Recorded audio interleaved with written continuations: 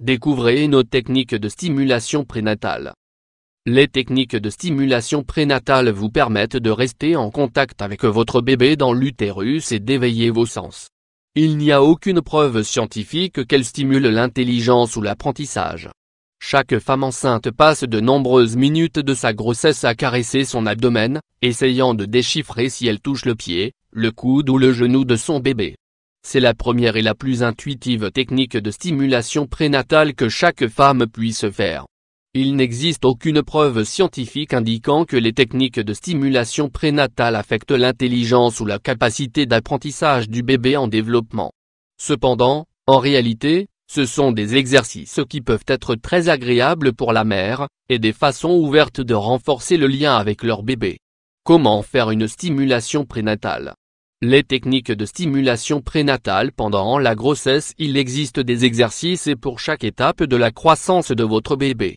Pour suivre l'une de ces techniques, la chose la plus importante à retenir est de ne pas en faire une obsession. Avec les moments de stimulation, il faut aussi des moments de tranquillité.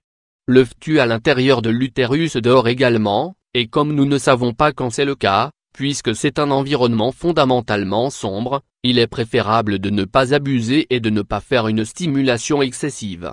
Technique de stimulation visuelle On sait qu'à partir du sixième mois, le FTU réagit en ouvrant et en fermant les yeux aux stimuli lumineux qui arrivent à travers l'abdomen, de sorte que vous pouvez commencer ces exercices à partir du quatrième mois.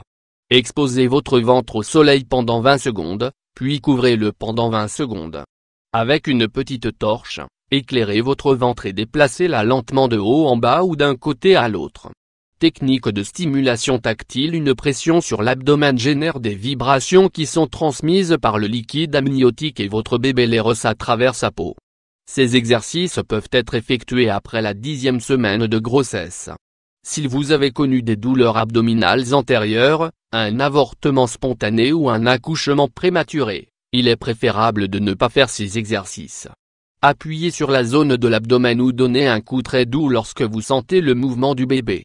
Lorsque vous prenez une douche, faites couler de l'eau à différentes intensités sur votre ventre. Massez doucement votre ventre ou demandez à votre partenaire de le faire. Technique de stimulation auditive Le bébé entend de nombreux sons à l'intérieur de l'utérus, le battement de votre cœur, votre digestion ou votre respiration. En outre, il peut également percevoir ce qui vient de l'extérieur, votre voix et celle de son père, même lorsque le liquide amniotique amortit l'intensité. Même ainsi, il est important d'éviter les disputes pendant la grossesse, parce que votre bébé russe ce qui se passe. On peut commencer à faire ces exercices à partir du quatrième mois de grossesse. Sélectionnez un morceau de musique, de préférence instrumentale, et écoutez-le assez souvent parler d'une voix forte et lente, et faites en sorte que votre partenaire s'implique aussi chanter une berceuse que vous allez ensuite reprendre pour l'endormir une fois qu'il sera né. Technique de stimulation motrice Être en mouvement doux mais rythmique aide à la fois la mère et le bébé. Cela vous détend et vous aide à rester en forme tout au long de la grossesse.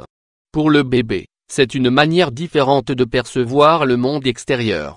Ces exercices de stimulation prénatale peuvent commencer après le cinquième mois de grossesse.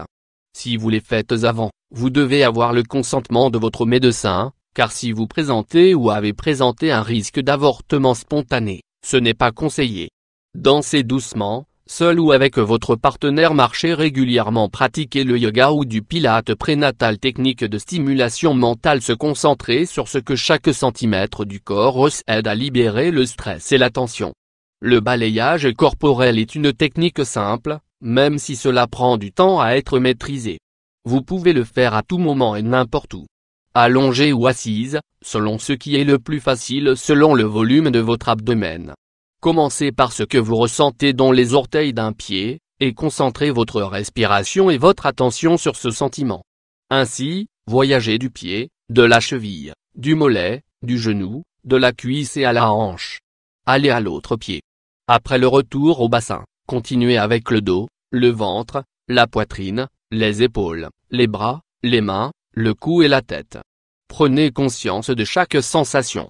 Si vous sentez que votre esprit vagabonde trop, prenez-en conscience et concentrez-vous sur votre respiration.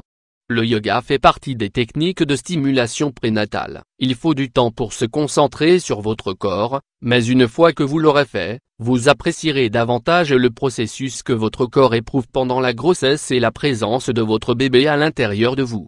Dernière considération votre bébé a développé ses sens pendant le troisième mois, donc ces exercices sont idéaux pour les deuxième et troisième trimestres de la grossesse, lorsque les premiers mois sont déjà passés. Il est conseillé de réaliser ces exercices à raison de quelques séances hebdomadaires. Il est important de ne pas en faire une obsession. Profitez de l'occasion de communiquer avec votre bébé. Si votre partenaire peut s'impliquer, c'est encore mieux. Sinon, vous pouvez également faire participer un autre membre de la famille qui vous soutiendra dans l'accouchement et les soins à apporter au nouveau-né. Et, bien sûr, si vous avez des doutes, N'oubliez pas de consulter le médecin qui suit votre grossesse.